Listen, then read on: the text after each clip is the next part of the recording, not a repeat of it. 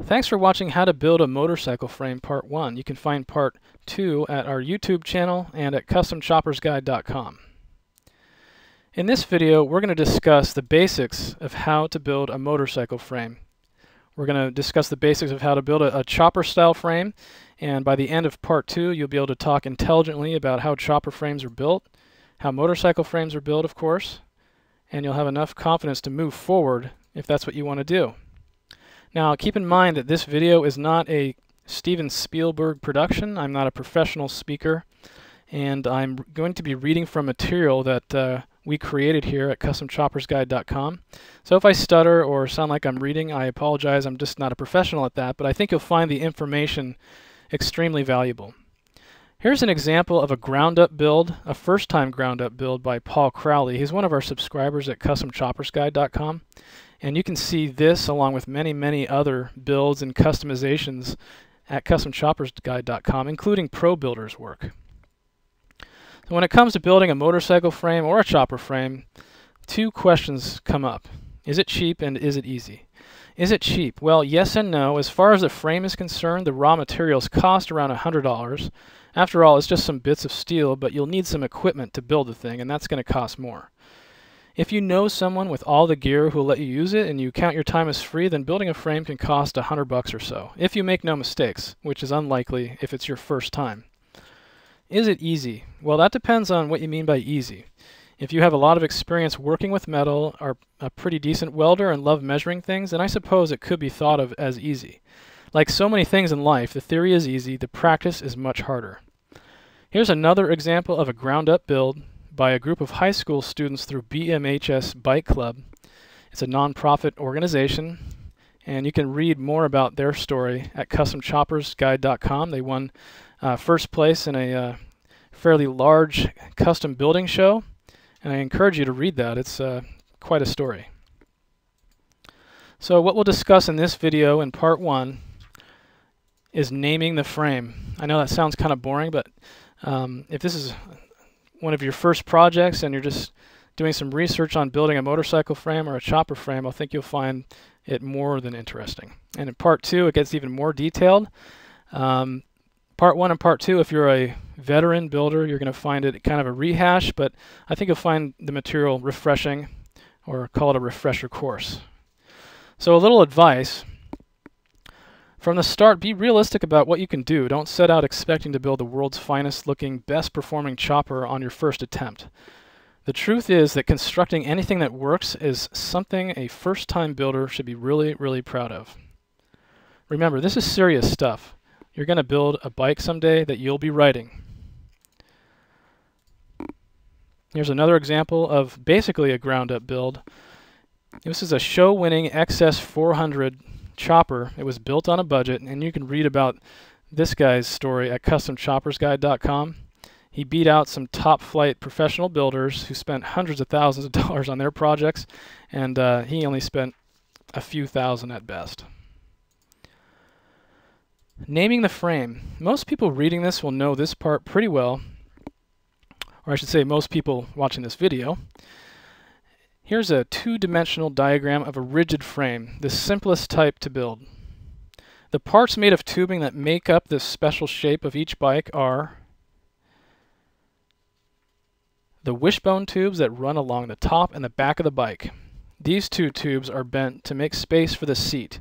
They get welded together and then to the top tube at one end and the bottom rails. This is on a rigid frame, of course. On a swing arm, you weld them to the side plates.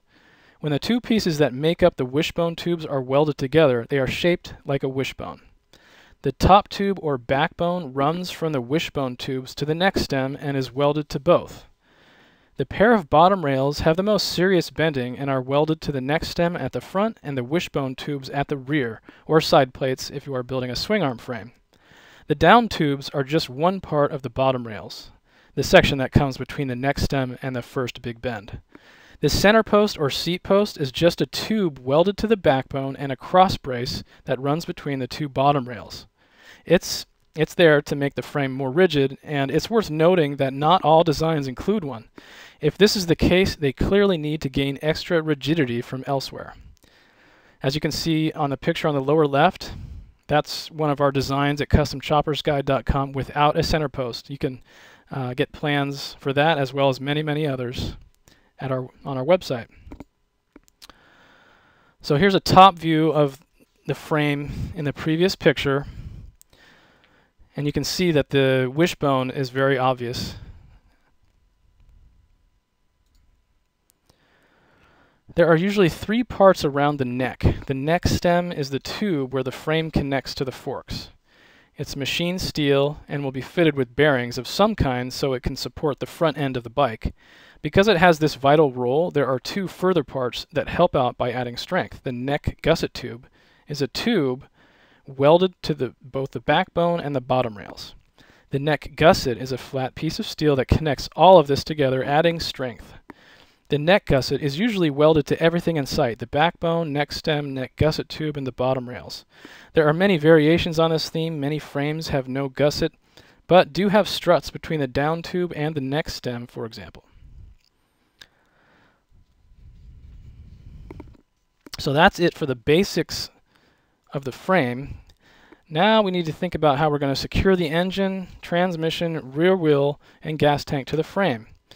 When we plan and build the frame, we need to put thought into these few other essentials known collectively as the mountings.